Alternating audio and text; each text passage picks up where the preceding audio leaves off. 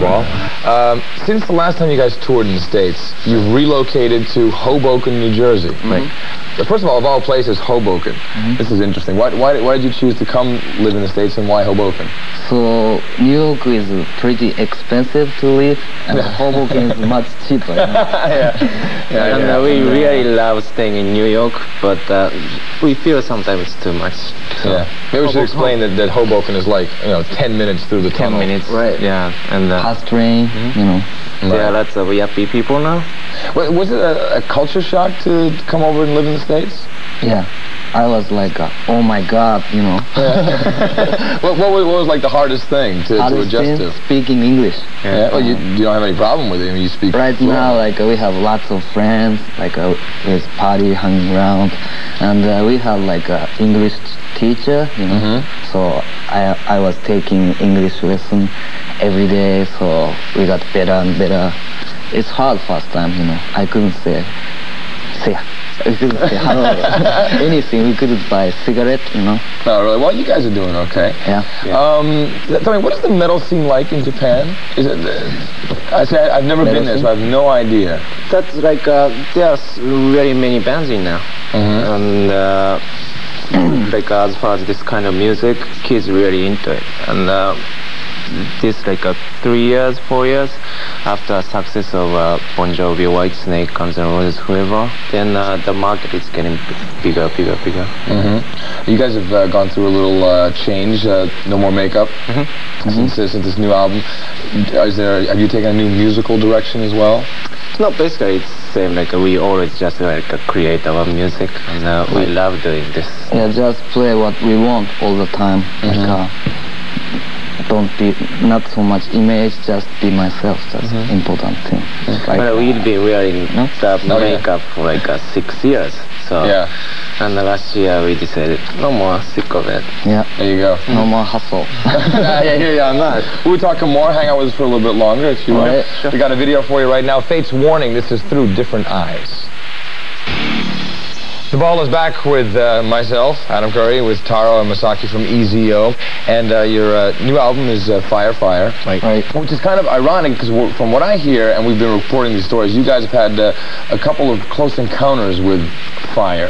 Mm-hmm. For instance, uh, the tour bus. Yeah. Tell me, tell me this story. What exactly happened? It was uh, probably two months ago uh, when we played in Philly, Philadelphia, and uh, when we went back home uh, in the middle of the highway, the the two of us got fire, and uh, like uh, engine starts smelling, with Yeah. smell fire. What's happening? Like that. Yeah, And that's what then I we- would have said too. What's that? Like smoke came out, and Yeah. then we we get out the bus, like, and then we found like uh, smoke all around the place, you know. all like a black smoke all Oh over the man! bus. So was the uh, bus destroyed, or? And we put we we start pushing the like, fire ex- extinguisher and I didn't walk like uh, this big so and uh, we jumped out and uh, after that for two hours we are watching like this Yeah, whole fire, big big fire, like uh, San Francisco or something. Really? happened, Wow. you know.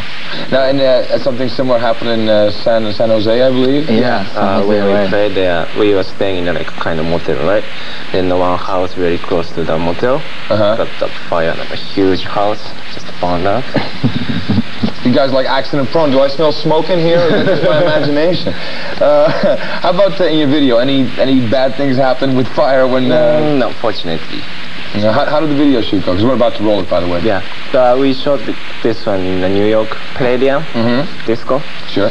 and uh, we wanted to get like a basic performance video this time and uh, we really liked this Yeah, make it simple. Yeah. And here it comes. We continue through the night. We got EZO with us this evening, and I was wondering, how do you go about writing lyrics? Do you write them in Japanese first, and then translate them into English, or because I don't know, because you know I come from a different country, and it, you know, I had to for a while I had to translate things from Dutch into English. How does it work for you? So I think in English right now Yeah. because of uh, I live here three years and then I can think in English. I dream in English.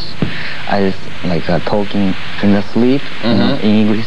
Now, how- now wait a minute. How do you know you t- you talk English in your sleep? Who told you that? My girlfriend. Okay. know. So, uh, Taro told me, you know. yeah, I speak a lot in, in my sleep, you know. Mhm. So loud like uh, so for So for my lyrics, like uh, I have friends. His name is Jody Gray, and uh, he's really good friend of mine. And uh, we sit down together a couple of times, like a couple, like a whole day long. We eat lunch, like a spicy food or Indian food or like a Chinese food, and then we write down on the paper, think, talk about it Right. and then like uh, make it like a more natural English, you know.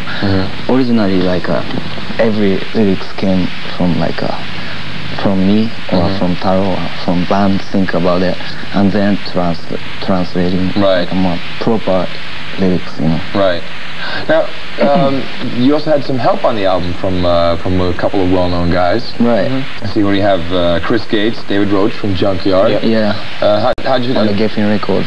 oh, is that is it a label thing that? Uh, Uh, the the Geffen A&R guy, uh, Mio Vukovic, he's great guy. Yeah. Um, he brought like uh, two guys from Junkyard to New York, and uh, we kind of jammed in the back of studio, and uh, we wrote two songs with them. And uh, it was a great experience because they are basically from like Texas, South Texas, and they got like a certain influence from uh, blues. Uh, we, Yeah. we don't have anything like that, so Yeah. it was very interesting. But together, it does make an interesting combination. Yeah, yeah. Yeah. Um, before I let you guys go, um, tour plans. What's in the works for EZO? Uh, the 20th, 24th, we played in uh, New Jersey, and uh, we're gonna play uh, in North Carolina, and after that we go to uh, Los Angeles. I mean Yeah. West Coast, Texas again. Everywhere, Right. all over the country. You ever, uh, how often do you get back to home to Japan? We haven't went back for about two years, two years Yeah. and a half. Mm-hmm. We miss our families, friends, but uh, we, we love living in here. So Well, I'll tell you what. Since the Headbangers Ball is shown in Japan, why don't you guys uh, say something to the folks back home. And you can do it in Japanese. Right. Just keep it clean. so we are EZO, and uh, we are in uh, Hoboken now, and uh, we are playing in the United States for probably until the end of next, this year. Then uh, next year we're gonna go back. All right, now so say hi to your mom. Just and, say uh, something in Japanese. I just gotta hear. Um, 日本のみんな元気でやってる あー俺ら MTV に出たよ I believe it. All right. Thanks a lot for dropping by tonight. All right. No problem. Good to see you. Good luck. Come by when uh, you know when, when you got some Thank more you. to tell us about Thank the you. tour or whatever. Yeah, Okay. thanks a lot. And we're gonna leave you right now with Queen's Right. Here's Breaking the Silence. It is a debut.